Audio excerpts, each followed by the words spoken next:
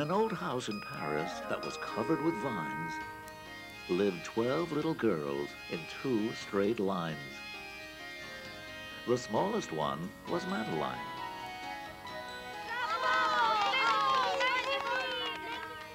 She's brave and she's clever and ready to go with two new adventures on home video. A leaky roof, falling plaster, and oh dear, a mouse. There's big trouble afoot in Madeline's house.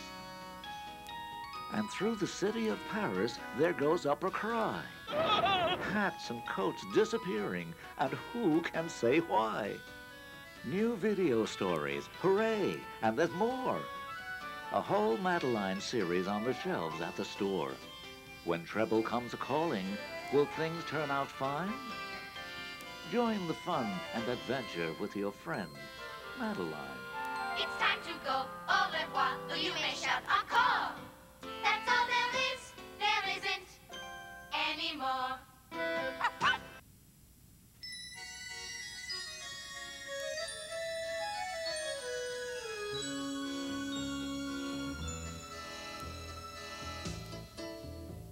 If you believe you must be big in order to be tough, then you should get to know me. I'll teach you other stuff. I'm Madeline, I'm Madeline, I may be very small. I'm Madeline, I'm Madeline, but inside I'm tall. She may be teeny tiny, diminutive petite, but that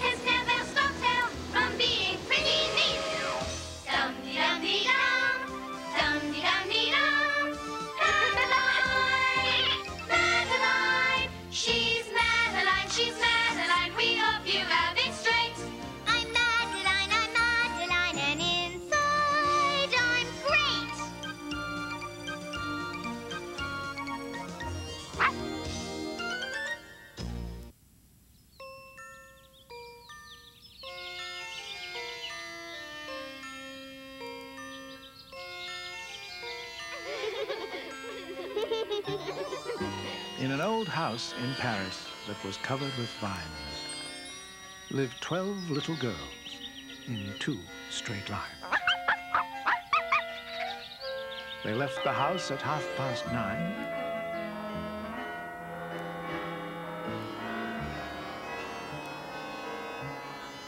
In two straight lines, in rain or shine.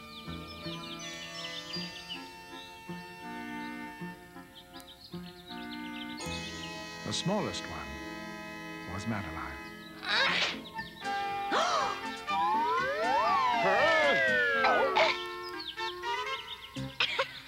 Good catch, Genevieve.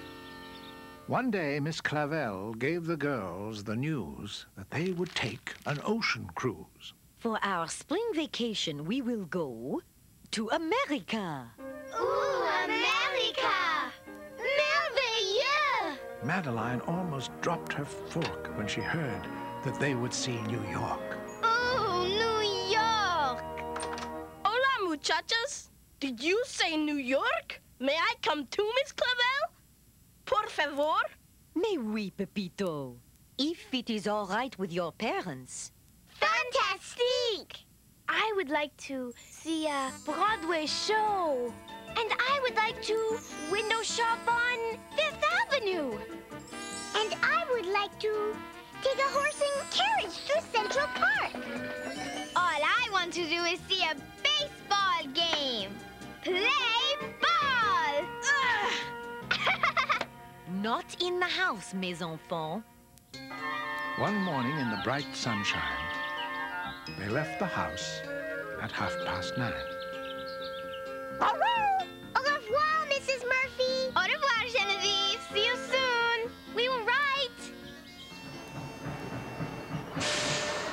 took a train ride to the pier.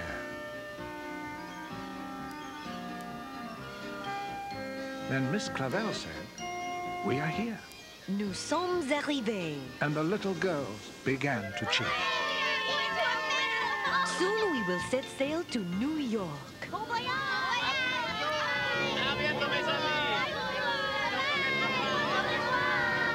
They left the dock at half past three, and pretty soon they were out at sea. It was to be a long, long trip. They'd spend 12 days aboard the ship. The seas were calm, the weather fine. They played shuffleboard in two straight lines, all but Pepito and Madeline. Batter up!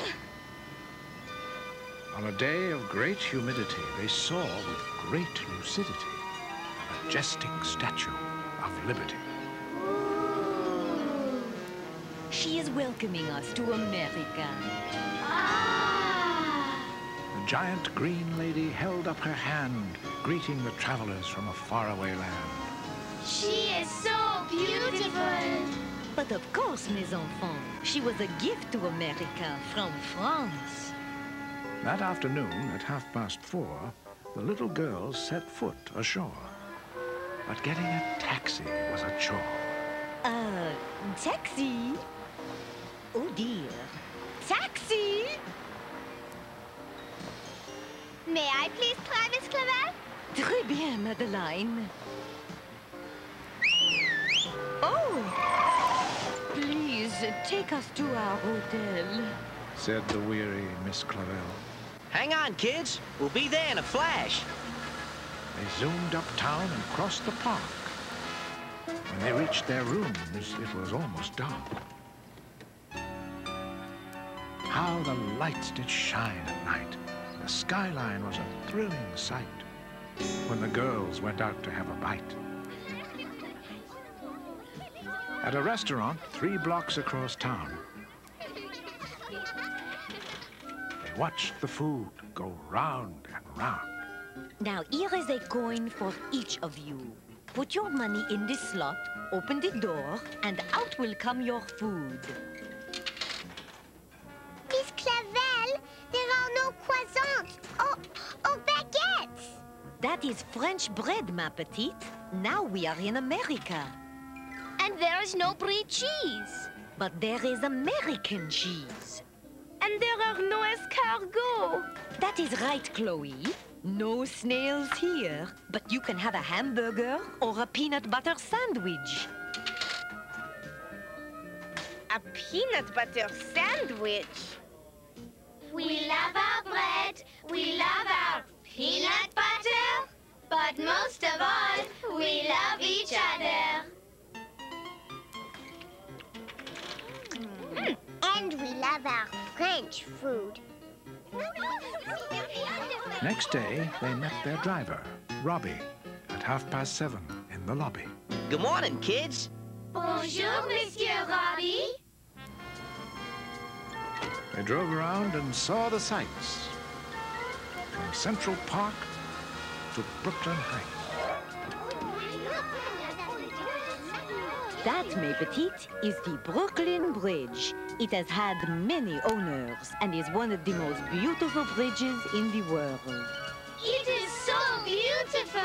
Merveilleux. Here you have it, ladies and gentlemen.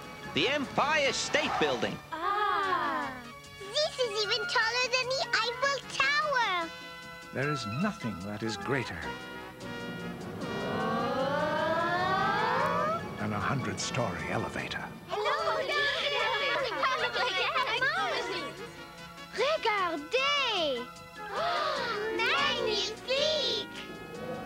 With a ride back down a little later.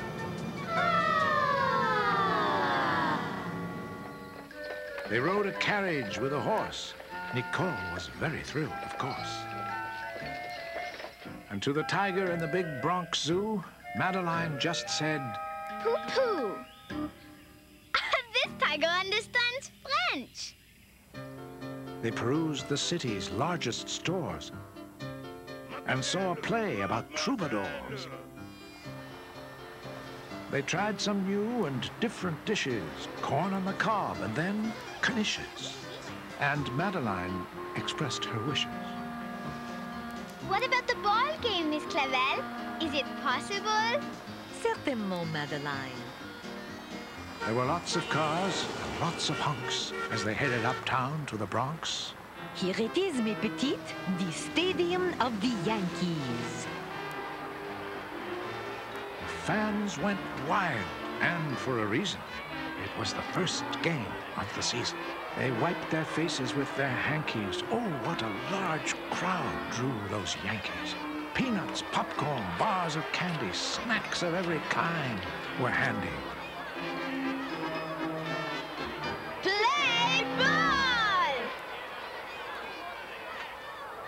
Soon came the ninth and final inning.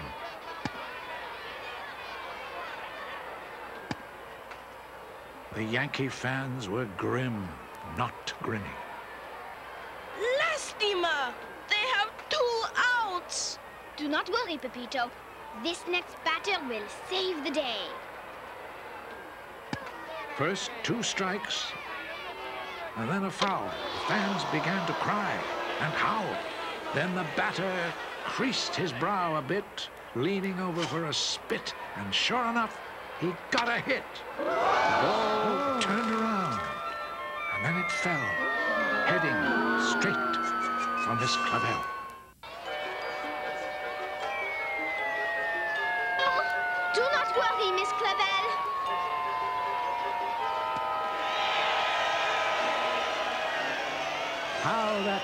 Catch revived the crowd. The cheers were long, strong, and loud. And Miss Clavel was very proud. You have saved the day, Madeline. Hooray for Madeline! And best of all, the Yankees got a home run! Madeline, you are one lucky young lady. The millionaire, Mr. Moneybags, is giving a prize for catching the first home run ball of the season.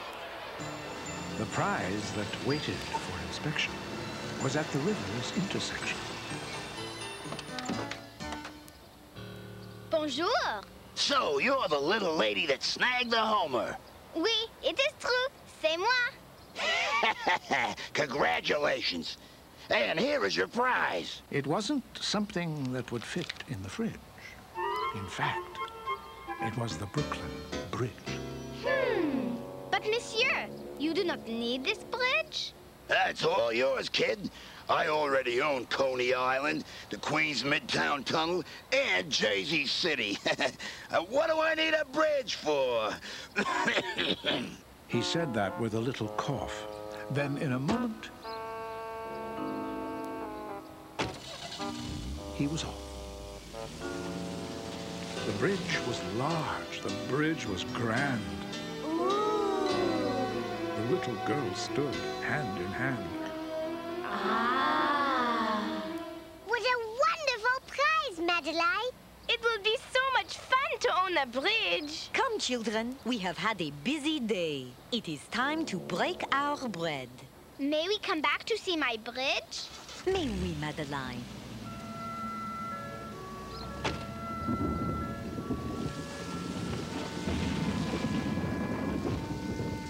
At City Hall, which was not far away, the mayor of New York heard the news of the day.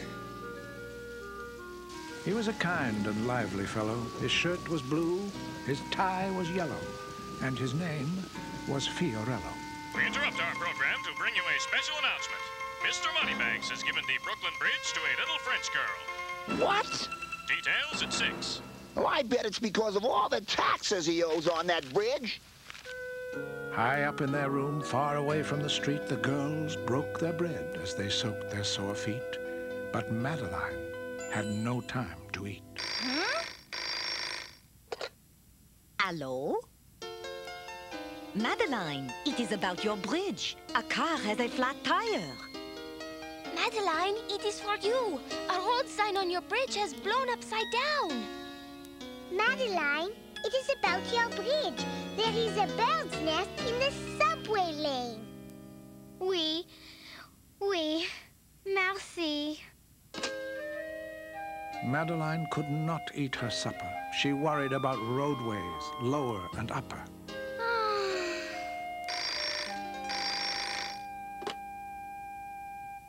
What? Oh dear. I see. Quel dommage. Oui, oui, we will be right there. But she knew she was out of luck when she heard about the peanut truck. What is it, Miss Clavel? Something is not right, Madeline. There's been a truck spill on the Brooklyn Bridge. The Brooklyn Bridge? Yes, that's right, the Brooklyn Bridge. The rainy conditions continue, and a truck of peanuts and other snacks has spilled, A truck of peanuts? And other snacks? blocking the upper and lower roadways and the number 1, 2, 3, 4, 5, and 6 lanes. Oh, what should I do? Come, Madeline. We will go downtown and see. So, with very little time to waste, they entered Robbie's cab with haste. The awful mess had to be faced. Popcorn, peanuts, cracker jacks, the bridge was full of salty snacks. Oh, dear. The little girl became quite flustered because her bridge was paved with mustard. How will we ever clean all this up? Do not worry, Madeline. I am sure there is a solution. Hot dogs, pretzels, and ice cream bars blocked Buicks, Fords, and other cars. Hey, you the owner? It's about time you got here. The ketchup's ruining my tires. I am sorry, monsieur, but it is not my fault. Oh, Miss Clavel, owning a bridge is nothing but a big headache. Madeline took out her broom and started to sweep, but she felt as if she had to weep. My dinner's gonna get cold. I'm gonna be late for the show. I just got this car washed. She is just a little girl. Please, do not be so hard on her. Yeah, lady, but she's the owner of the bridge. Who do you want me to call? The mayor? Did someone mention my name? Who is that? You must be Madeline from Paris. We Oui, monsieur maire. Hey, this is no way to treat a Yankee fan. Oh, monsieur maire, I know I am not too small for baseball, but I am too small to own a bridge. No, Madeline, you are not too small. You just need a, a bigger broom. Does New York have a bigger broom? we have several hundred. In that case, Monsieur Mayor, I would like to give the bridge to your city, if you will accept it. Of course we will accept it, Madeline. And we would like to give you something in return. Ah, oui! The very next day, right after the storm, a big broom cleaned up the soggy popcorn.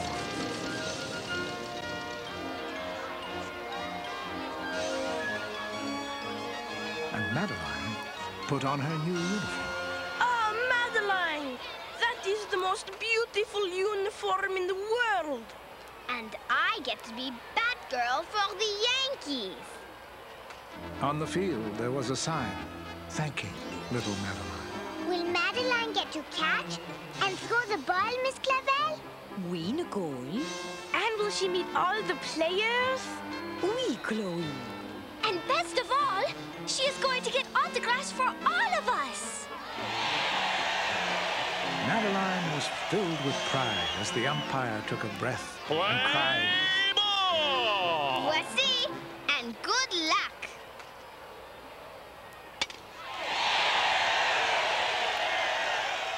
One detail, though, was not complete.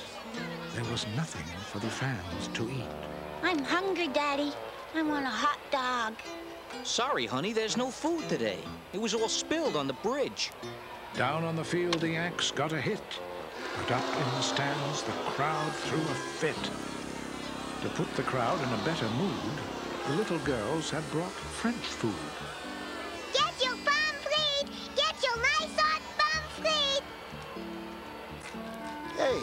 These aren't bad. What do you call these? Pommes frites. Fried potatoes à la française. Here, honey, fried potatoes, French style. Mmm, French fry. You know, this French food could really catch on. Then, when the game was almost done, the Yankees hit the first home run. And soon, the baseball game was won. Madeline, we're gonna have a parade. For the Yankees? No, for the little girl who gave us the Brooklyn Bridge. And for her friends who brought French fries to the USA. On Wall Street, all the bells were rung and miles of ticker tape were flung. I declare today Madeline Day. Until tomorrow, Madison Avenue will be known as Madeline Avenue.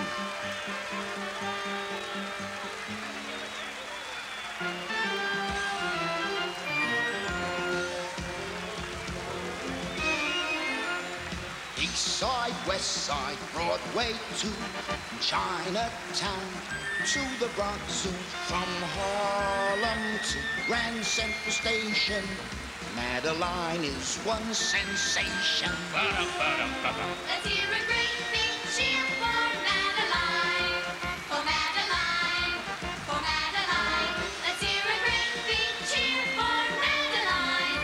New York loves Madeline. New York loves Madeline. Uptown, downtown, Central Park. From Coney Island after dark to Times Square with its neon signs. We love those guiles in two straight lines. A great big cheer for the little girls. The little girls. The little girls. Let's hear a great big cheer for the little girls.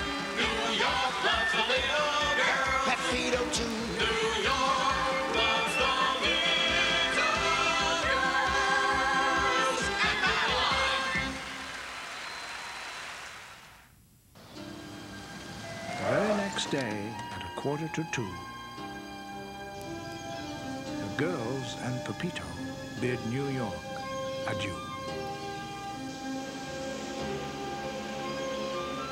Au revoir, Statue of Liberty. Au revoir, Empire State Building. Au revoir, Madeline Avenue. Adios, Yankees! and goodbye, Brooklyn Bridge. They drifted farther from the shore.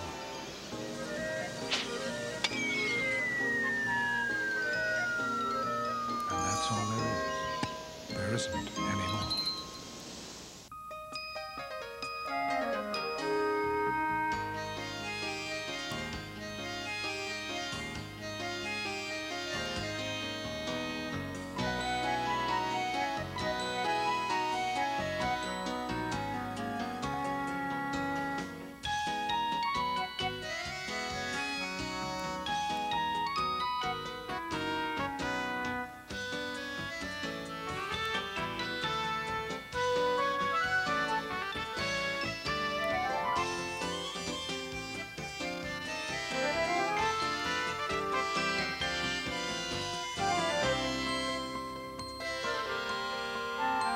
to go. Au revoir, though you may shout encore.